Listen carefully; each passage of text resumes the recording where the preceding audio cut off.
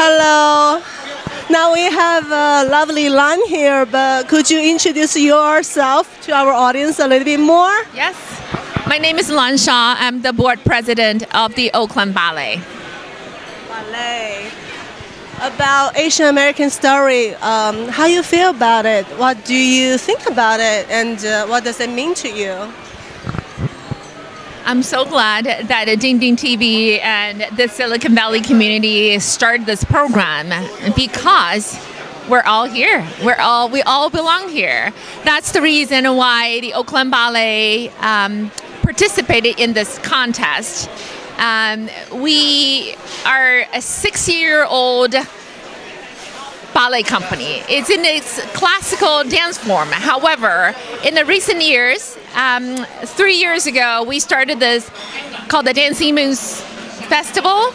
We are the first and only ballet company that present the entire program to showcase Asian American choreographers and dancers.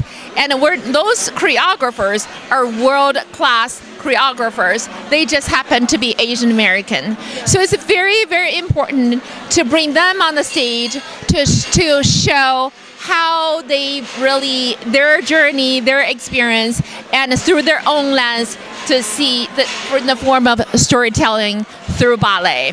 And we got invited to go on tour in America to showcase the program. That's awesome. Yes. You know, the ballet itself you know it's uh, something just something amazing show your freedom show your mental health and show your strength meanwhile and i want you to bit more uh, to our audience about like um, to Ding Ding TV and the Silicon Valley community media, please. Yes. So, yes, ballet is a classical dance form. However, we cannot stay telling the classical stories over and over.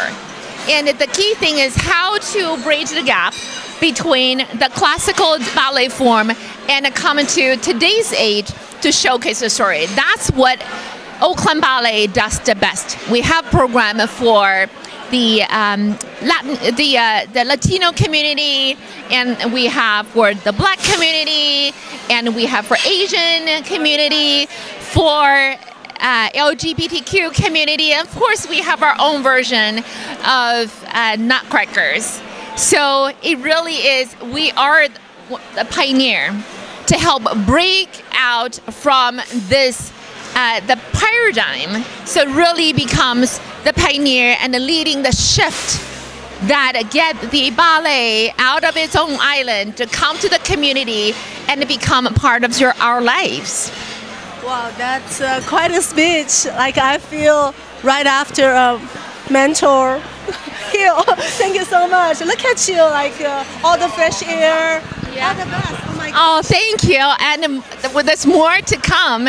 Um, next year in 2025, we're gonna have um, this amazing program to showcase Angel Island story is the story happened in Angel Island during Chinese uh, Exclusion Act. We all know only actually part of the Asian the, the the community knows the story. So we bring this story on the stage, collaborate with one of the best composers called Huang Ruo. So it's gonna be 90 minutes dance and eight sections.